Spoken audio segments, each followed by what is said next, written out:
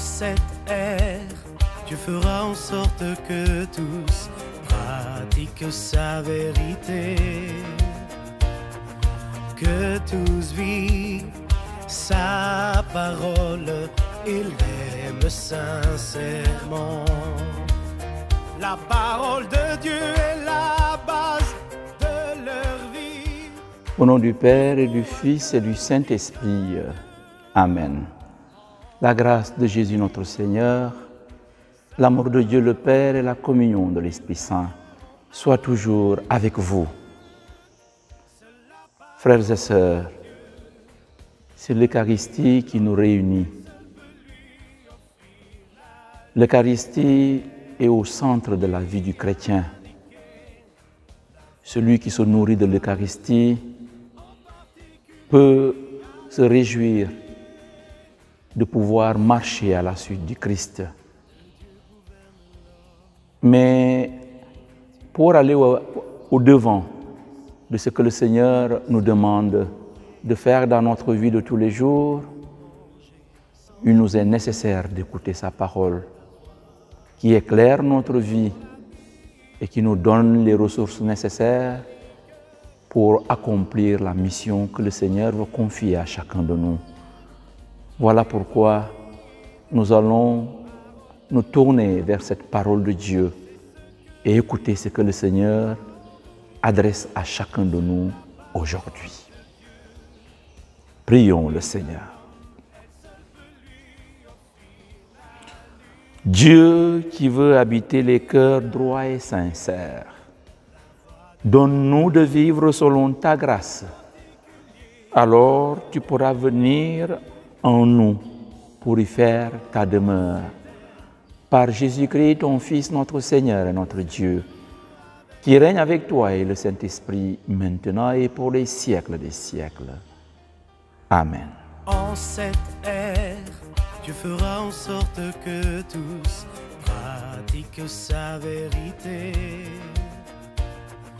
que tous vivent sa parole. Lecture du deuxième livre des rois. En ce jour-là, Sennacherib, roi d'Assur, envoya des messagers dire à Ézéchias, Vous parlerez à Ézéchias, roi de Juda, en ces termes. Ne te laisse pas tromper par ton Dieu, en qui tu mets ta confiance. Et ne dis pas, Jérusalem ne sera pas livrée aux mains du roi d'Assur. Tu sais bien ce que les rois d'Assur ont fait à tous les pays. Ils les ont voués à l'anathème. Et toi seul, tu serais délivré. Ézéchias prit la lettre de la main des messagers et la lut.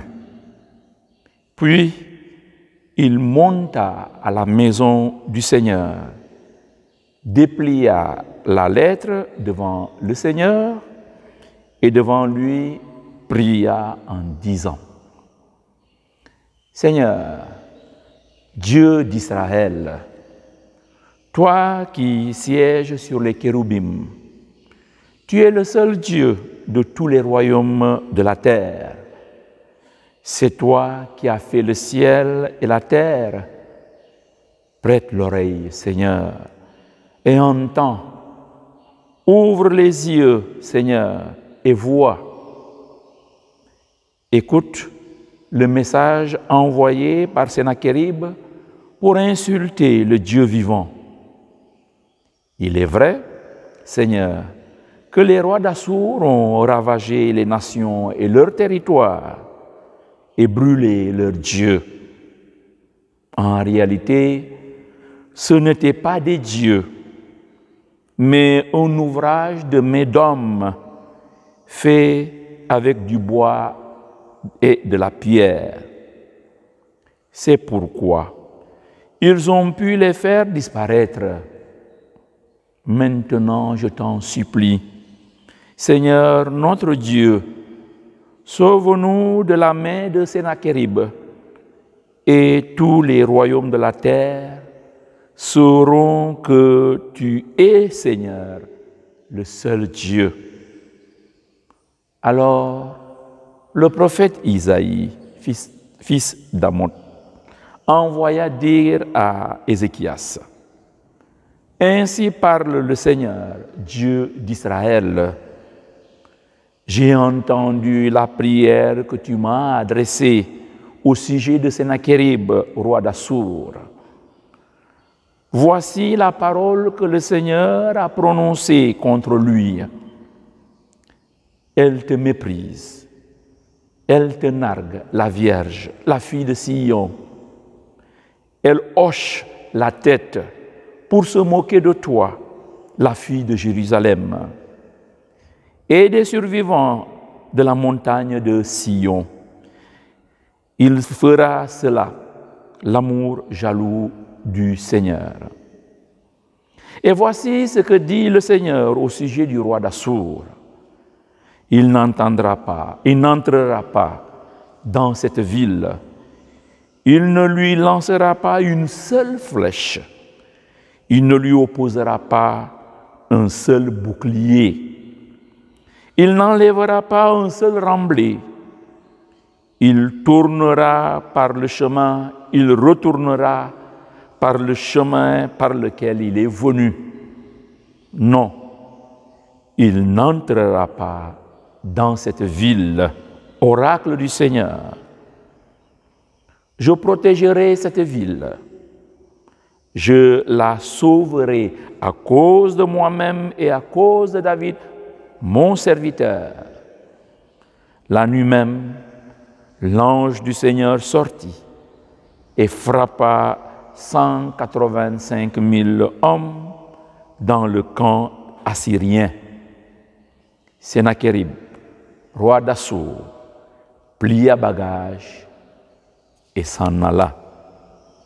Il revint à Ninive et y demeura. Parole du Seigneur Tout-Puissant. Nous rendons grâce à Dieu. En cette ère, Dieu fera en sorte que tous pratiquent sa vérité. Tu es grand Seigneur éternellement. Il est grand, le Seigneur, hautement loué dans la ville de notre Dieu. Sa sainte montagne altière et belle, joie de toute la terre. La montagne de Sion, c'est le pôle du monde, la cité du grand roi. Dieu se révèle en ses palais, vraie citadelle. Dieu nous revivons ton amour au milieu de ton temple, ta main droite qui donne la victoire, réjouit la montagne de Sion. Et les grands seigneurs éternellement. En cette ère, Dieu fera en sorte que tous pratiquent sa vérité. Alléluia, Alléluia, Alléluia. Moi, je suis la lumière du monde, dit le Seigneur. Celui qui me suit aura la lumière de la vie. Alléluia. Alléluia. Alléluia.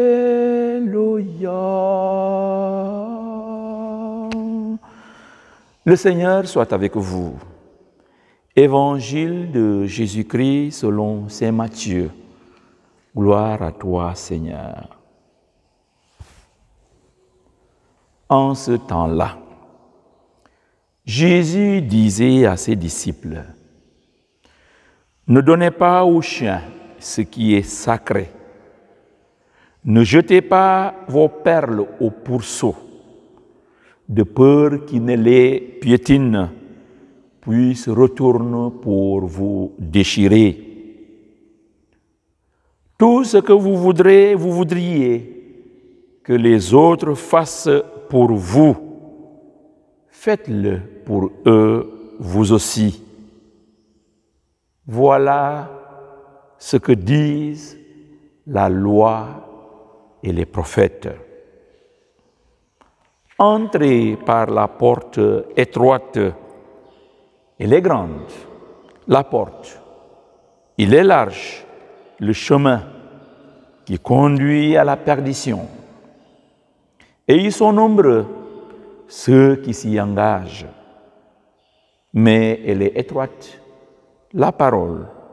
Elle est étroite, la porte. Il est resserré, le chemin qui conduit à la vie.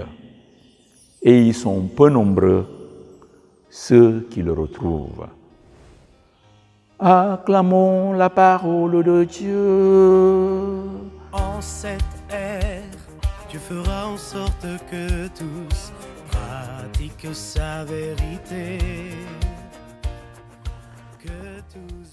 Mes chers frères et sœurs, nous poursuivons le sermon de Jésus sur la montagne. Sermon qui parle de la nouvelle justice du royaume. Ce discours est comme la charte du vivre ensemble des disciples du royaume. Nous parlons de charte en ce sens que c'est un pointillé d'orientation fondamentale pour une communauté qui fait du Christ le seul interprète de la des lois et le seul juge du comportement humain. Dans la page d'évangile de ce jour, Jésus évoque la règle d'or, c'est-à-dire le principe moral simple qui consiste à ne pas faire à autrui ce que l'on ne voudrait pas qu'il nous fasse. Ce, principe est présent dans toutes les grandes traditions de l'Antiquité. Le Tao, Bouddha, Confucius, chez les Gréco-Romains, dans le judaïsme. En le reprenant, Jésus rallie à sa suite tout homme de bonne volonté. Mais en lui donnant une forme positive, il entraîne aussi son, auditeur, son auditoire bien au-delà.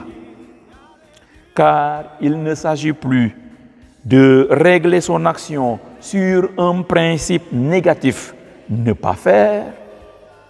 Il s'agit au contraire d'inventer pour l'autre tout ce dont on rêve pour soi.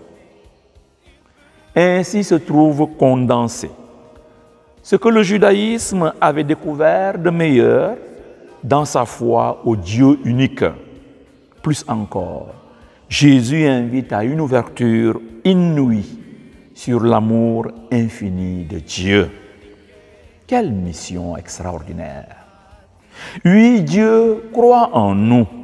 Il croit en notre capacité à vivre non simplement pour nous-mêmes, mais aussi pour les autres notre consoeur, notre confrère, nos partenaires, nos amis, nos collègues et même nos ennemis. Dieu nous invite à souhaiter et à rechercher leur bonheur, à les aider à grandir. Jésus nous le rappelle. C'est une route étroite, un chemin exigeant. Tant le laisser-aller nous entraîne sur les autoroutes de l'égoïsme, de la violence, de la rancune, du ressentiment, de l'instrumentalisation d'autrui. En même temps, par sa beauté et son audace, l'ambition de Dieu pour l'humanité, loin de peser sur nos épaules, peut nous donner des ailes. Heureux celui qui la réalise. Chers frères et sœurs en Christ, l'appel que nous lance le Christ se veut réaliste. Ceux qui ne croient pas en Dieu, ceux qui ne comprennent pas le sens sacré de certaines choses, ne peuvent les apprécier véritablement et donc, ne les comprenant pas, peuvent très bien s'en moquer en les dénaturant et de plus se moquer de ceux qui les vivent quand encore il ne s'agit pas de persécution.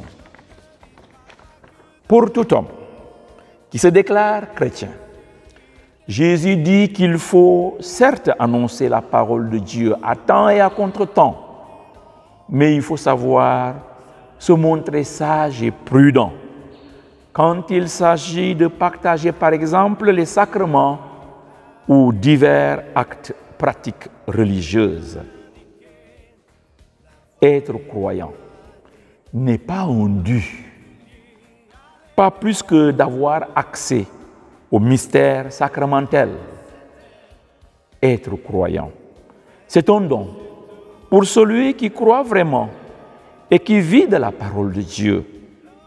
Ce n'est donc pas parce que nous avons notre nom sur une liste de baptême que nous avons tous les droits. Non. Pour les avoir, ces droits, il faut œuvrer, de sorte que notre vie de tous les jours corresponde à la parole de Dieu. Ceci étant dit, nous devons toujours prendre conscience que le chemin du ciel eh bien, passe par une porte étroite. C'est la porte de l'oubli de soi-même pour l'amour de Dieu et des autres.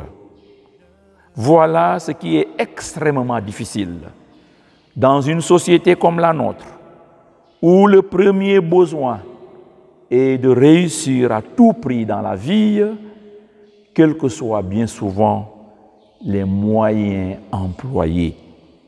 Or, pour vivre avec Dieu, il faut au contraire savoir renoncer à cela pour vivre son amour dans le don de nous-mêmes.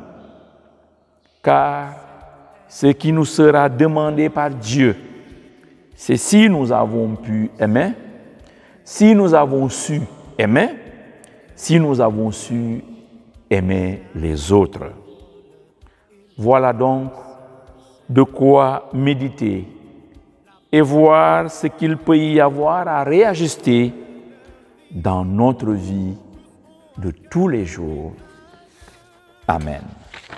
Et maintenant, nous allons nous tourner vers le Seigneur, à qui nous allons adresser cette prière en lui demandant de nous combler de sa grâce et de sa bénédiction pour que notre vie nous aide à ne pas nous égarer loin de lui, mais de rester fidèles à notre engagement baptismal, fidèles à la mission qu'il a confiée à chacun de nous. Prions le Seigneur.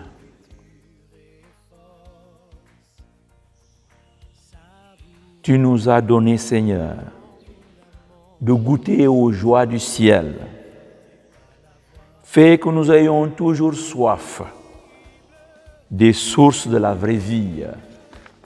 Par Jésus-Christ, ton Fils, notre Seigneur et notre Dieu, qui règne avec toi dans l'unité du Saint-Esprit, maintenant et pour les siècles des siècles. Amen. Et maintenant, nous allons nous tourner encore vers le Seigneur pour lui confier cette situation pandémique que nous vivons. Et pour cela, nous prenons la prière à Notre-Dame de Mont-Roland.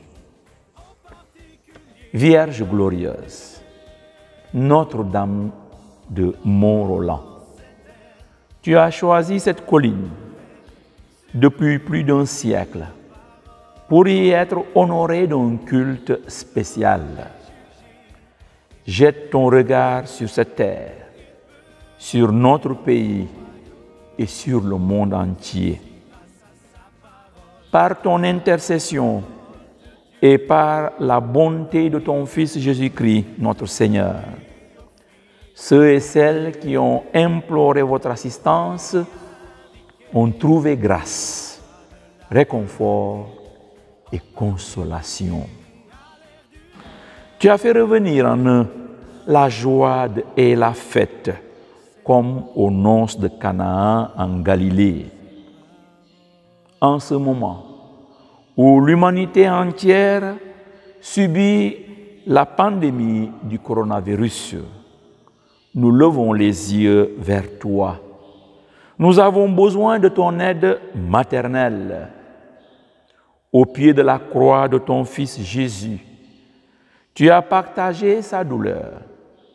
Intercède maintenant pour nous auprès de Dieu, notre Père, pour la cessation de ce fléau, la guérison de tous les malades, la protection du personnel sanitaire, la consolation aux familles endeuillées et le salut de tous ceux qui ont perdu la vie.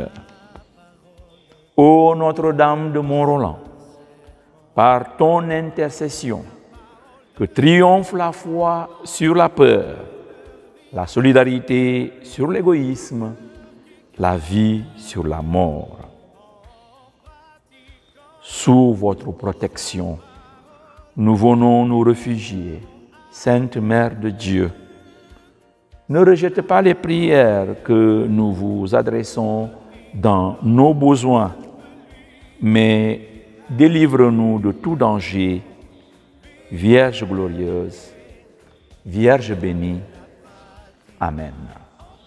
Le Seigneur soit avec vous et que Dieu Tout-Puissant vous bénisse, le Père, le Fils et le Saint-Esprit. Allez dans la paix et la joie du Christ et restez bénis parce que Dieu vous aime de toute éternité. Bonne journée à vous tous. Sans elle, vous ne trouverez pas la voie.